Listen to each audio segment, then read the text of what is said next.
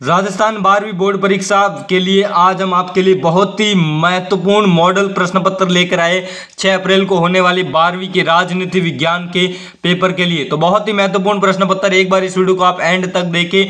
सारे के सारे इंपॉर्टेंट प्रश्न इसमें शामिल है जो आपकी 6 अप्रैल को होने वाली राजनीति विज्ञान पॉलिटिकल साइंस के पेपर में आपको ये प्रश्न देखने को मिलेंगे। तो इस पेपर को हल्के में बिल्कुल नहीं लेना, सारे के सारे इंपॉर्टेंट प्रश्न है जो आज की वीडियो में हम आपको बताएँगे। चलिए आज की इस वीडियो को स्टार्ट करते हैं। राजनीति विज्ञान के सभी महत्वपूर्ण प्रश्नों को देख लेते हैं उत्तर सहित। सबसे पहले खंड अ में आपको बहुविकल्प प्रश्न पूछे जाएँगे, जहाँ पर पहला प्रश्न पूछा है कि भारत ने किस महाशक्ति के साथ 1971 में 20 वर्षीय समझौते पर हस्ताक्षर किए? आंसर आपके सौ होगा। सोवियत संघ सोवियत संघ महाशक्ति के साथ 1971 में 20 वर्षीय समझौते पर हस्ताक्षर किए थे। सो ऑप्शन राइट आंसर होगा इसका।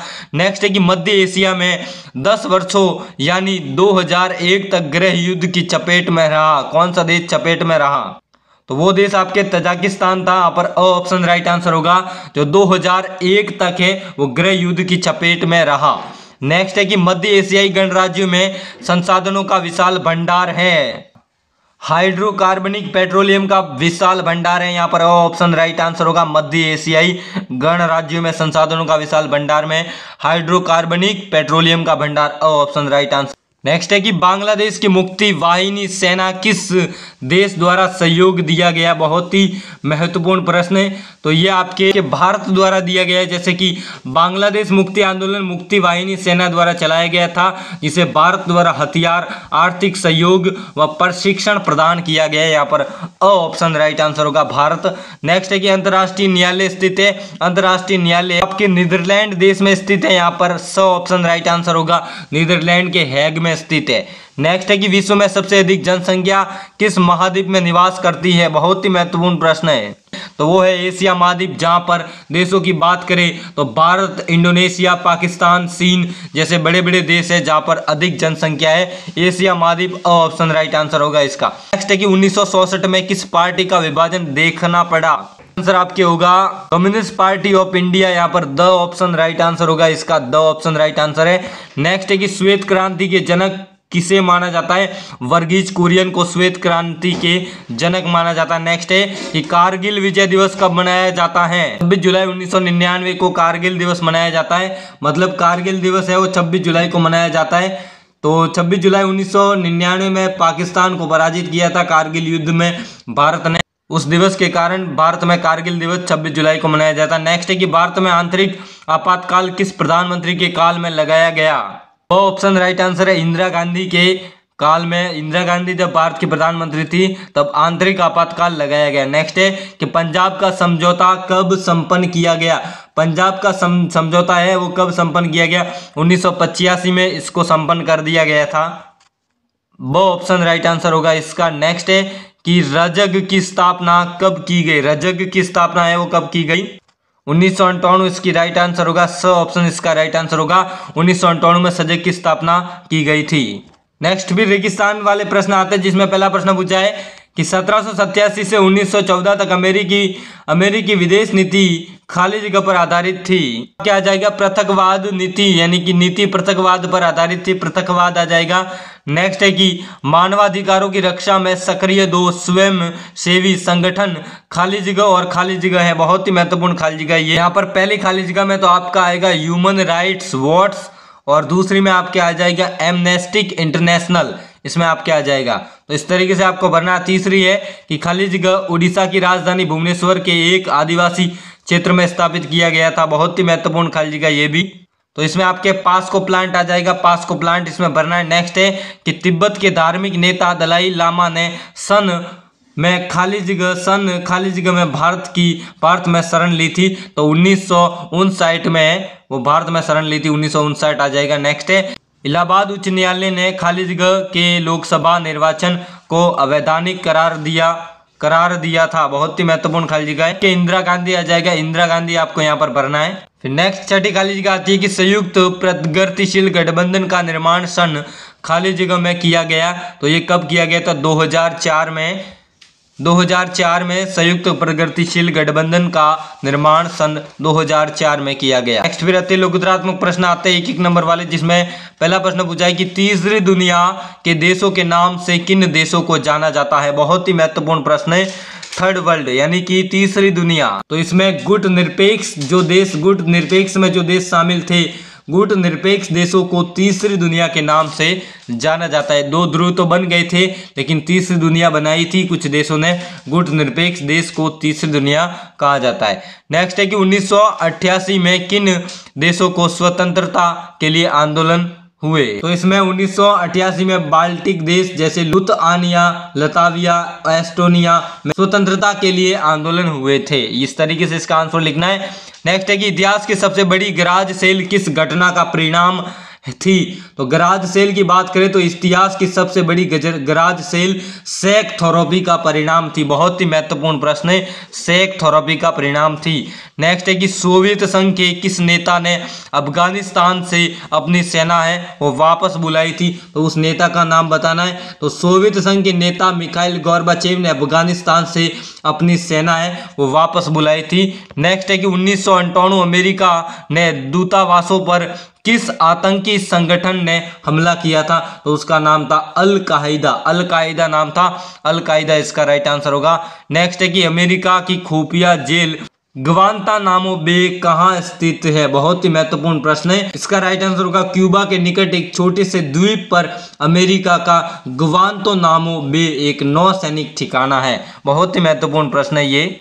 फिर नेक्स्ट है कि 1950 की 60 के दशक में किन देशों के बीच जल को लेकर संघर्ष हुआ था? तो 1950 और 60 के दशक में सीरिया, जॉर्डन, इजराइल के बीच जल को लेकर संघर्ष हुआ था। नेक्स्ट है कि भारत में मूलवासी किसको कहा जाता है?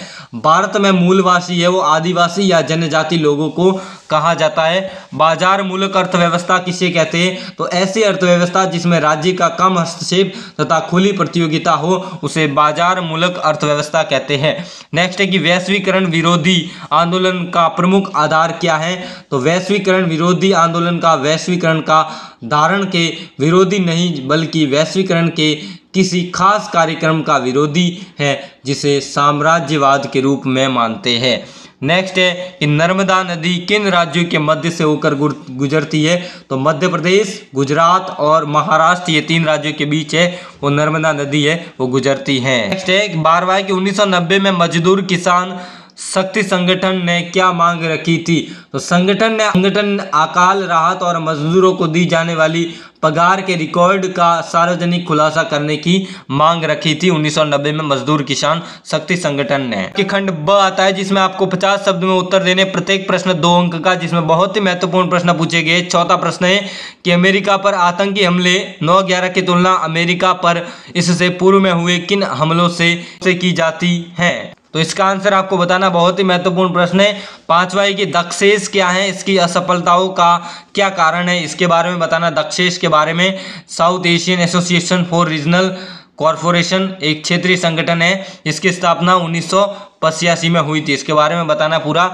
नेक्स्ट है कि लिट्टे क्या है? इसकी प्रमुख मांगे क्या थी? लिट्टे, श्रीलंका का तमिल लोगों का संगठन था। लिबरेशन टाइगर्स ऑफ़ तमिल इलम जिसे लिट्टे कहा जाता था, इसके बारे में बताना है। नेक्स्ट है कि विश्व बैंक की प्रमुख शाखाएँ कौन कौन सी है, इसके बारे में बताना है। नेक्स्ट है कि B W C B W C व सी डब्ल्यू सी क्या है? बहुत ही महत्वपूर्ण प्रश्न है।